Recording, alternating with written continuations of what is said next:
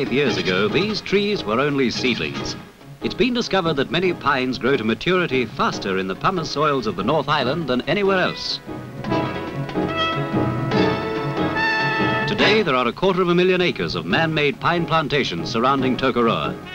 Each day, 3,000 tons of logs are brought to the Kinleith Mill to be processed into paper, wallboard and sawn timber.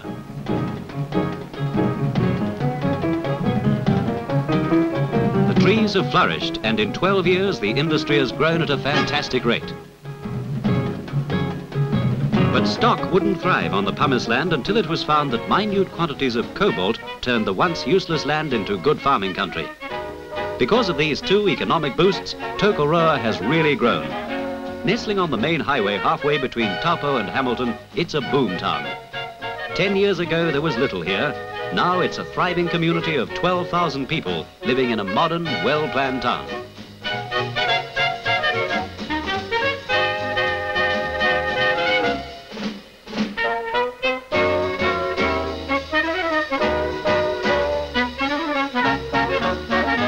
The chainsaw has replaced the axe in modern milling operations. But naturally, in this locality, wood chopping is a popular event at the A&P show.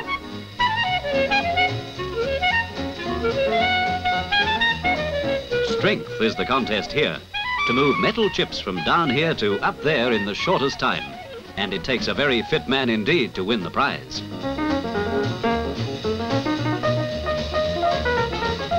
You never know what you'll see at an A&P show. A parachutist drifting down after a free fall of half a mile to land right on target to be greeted by his admiring fans.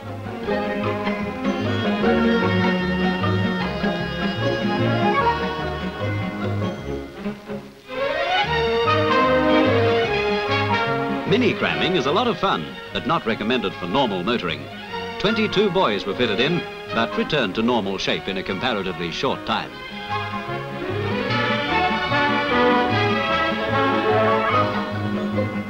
This is not recommended by the Road Safety Council either. Oh, I say, old chap, well done. But a show is still a show, and a day for the children. The care, feeding and grooming of these animals is the sole responsibility of the children, and the pets proudly display their winning owners. This young town already has all the traditional attractions of an A&P show. In all the years, sideshow alleys have remained the same. Hurly-burly music fills the air, and the pink candy floss still tastes the same. But practically everything else at Tokoroa is changing, and changing fast.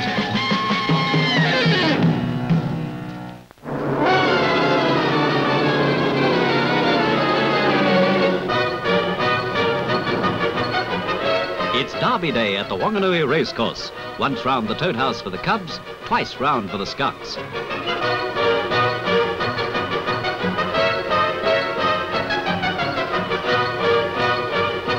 These super pedal cars made specially for racing have been designed and built by the Scouts themselves.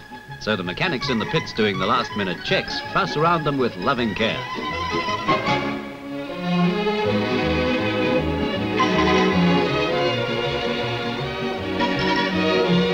Mechanically, the cars are very simple. Pedals drive the rear wheels through three-speed bicycle hub gearing.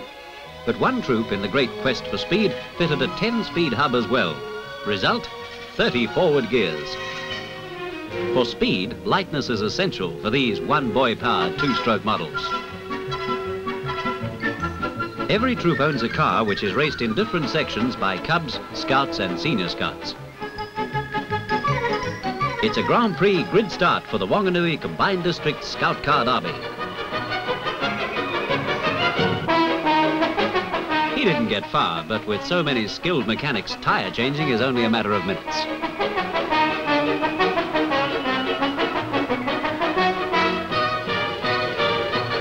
The older boys can pedal these contraptions up to 25 miles per hour.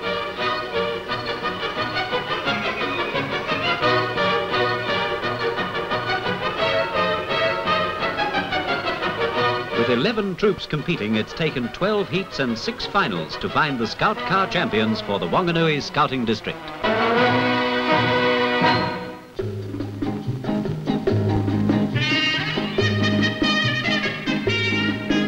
Just 22 miles from Auckland City in the Hauraki Gulf is the long, thin island of Pakatoa. For two months, men have been busy here working on high slopes in the warm sunshine, clearing, surveying and building. The wide gulf is spread out below them on all sides, and behind the noise of bulldozers and trucks is the sound of the sea. Changing this island is an operation planned with military precision. Pre-cut supplies are ordered daily by radio to keep pace with the job and delivered four times a week. Barges push their blunt snouts up onto the fine white sand and down their ramps come tons of supplies and equipment.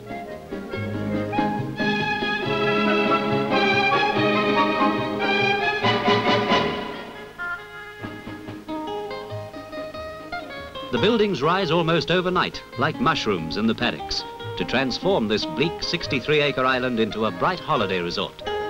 The cottages, flats, licensed bar lounge, and its wide, soft beaches will soon be thronged by 20,000 people a year.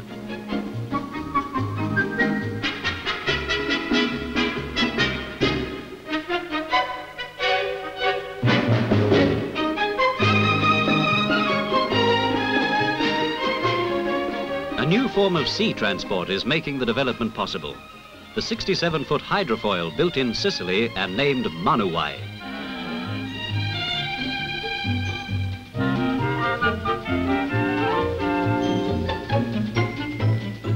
The foils from which the hydrofoil gets its name lift it out of the water the same way as wings lift an aeroplane into the air. Driven by a V12 diesel engine, this extraordinary vessel can reach a maximum speed of 40 knots.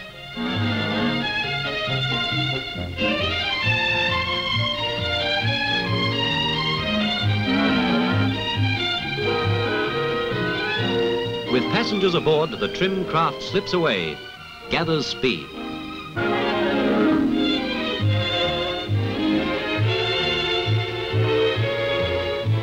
At 15 knots, the foils buried beneath the hull lift the 19-ton ship up clear into the air.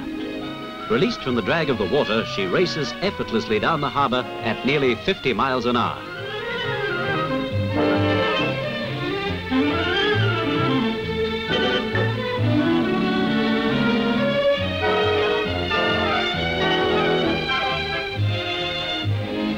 Sightseers are discovering more of the harbour since this 73-passenger water bus has been in operation.